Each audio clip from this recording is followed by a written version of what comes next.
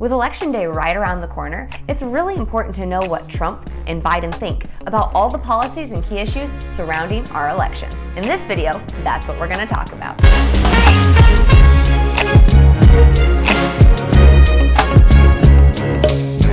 Hey friends, welcome to Adulting with Esther, the show where we talk about the things that you don't learn in school.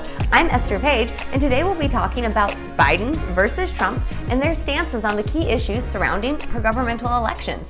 If you're new here, consider hitting that subscribe button down below so that you can be alerted to our newer videos. At any point in time during the video, feel free to check out the description. You'll find timestamps and resources and other valuable tidbits for you. This video is part of a 10-part series in which we'll be discussing all of these issues surrounding Biden and Trump. You can find any of those links down in the description as well as up here. And in this video, we'll be talking about six key issues that Trump and Biden have had to take a stance on regarding our elections.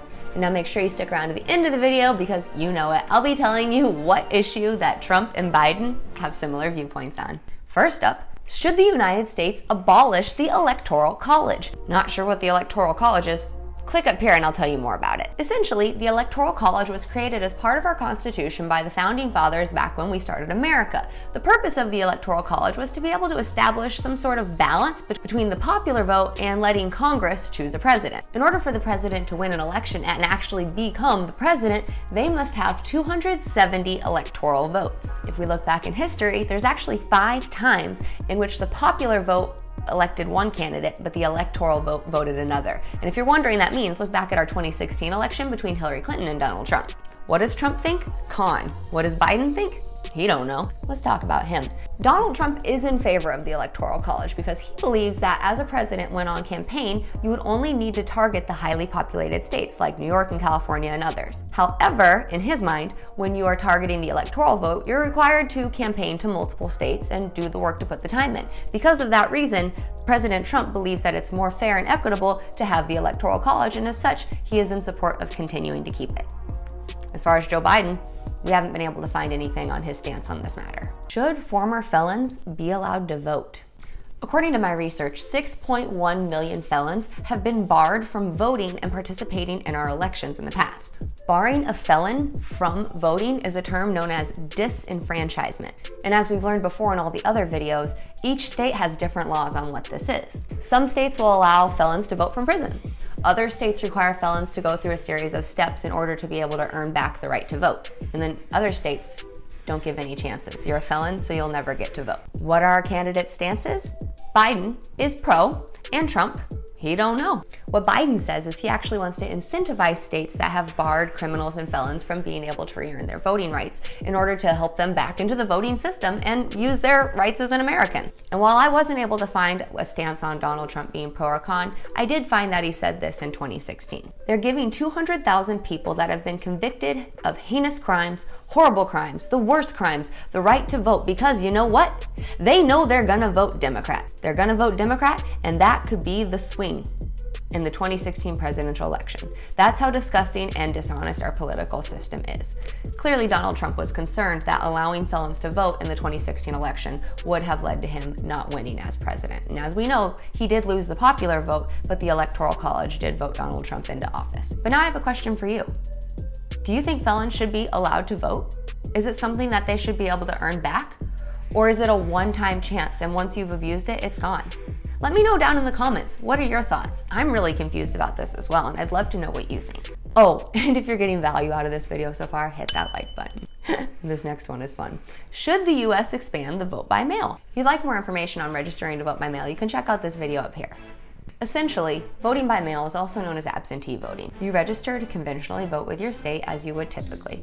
When you register to vote, you can also go a step further and register to vote by mail.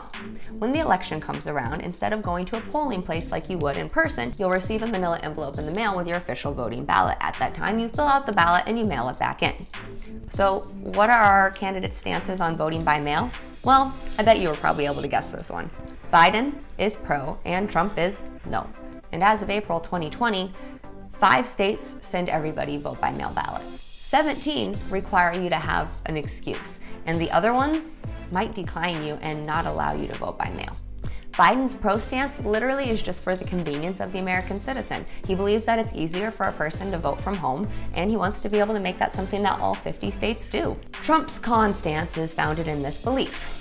I think a lot of people cheat in mail in voting. Trump actually believes we should take it a step further, and when we show up at the voting booth, you must be required to show a photo ID as well. Which brings us to the next point should voters be required to show a photo ID? You know where they stand on this. As of January 2019, 35 of our 50 states plus Puerto Rico and DC required voters to show a photo ID when they voted. So, what are our candidate stances? You know this one. Trump is con, Biden is yes. But let's hear why. Trump says that without a voter ID, it's all meaningless, and it's a risk to election security. Biden cites data from 2014 in his stance. He says that in 2014 there was over 83 initiatives in 29 states to limit the restrictions on voters having to show an ID. However, once they did all of this research and dug deeper to find this fraudulent voting, there actually was no proof of any sort of collusion or voter impersonation that, that actually took place. All right, you stuck around to the end, and you know I promised you I'd tell you the one on which they agreed. Well, here we go. Should Election Day be a national holiday? Biden and Trump both have no stances on this, but we do know that Election Day is the first Tuesday in November. Should this issue turn into something that either presidential candidate wanted to take a stance on, it would lead to the federal government giving approximately 2 million employees a paid day off so that they could go to the voting booths and vote, and in hope, private companies would also follow in suit. So, what are your thoughts on that? Do you think it's too hard to vote in person when you don't have a day off? Would having that paid day off as a federal holiday incentivize you or your loved ones in your family to go out and vote? Or do you think it wouldn't matter? Do you vote? Let me know down in the comments below. But hey, you made it to the end, and gosh, you are so awesome. And because you're so awesome, I want you to brag about it and celebrate a little bit because, yeah, again, you're awesome type this secret word down in the comments below to let me know how fantastic you are because again, you're freaking amazing. I love being here with you today and talking about elections. Make sure you check out the description below where you can find the other nine videos in this series. If you got value out of this video, hit that like button and make sure you subscribe so you can get alerted when we post our next videos. Stay you, and I'll see you in the next video. Bye-bye. Haircut, look a minute. Ooh, that's a cat hair.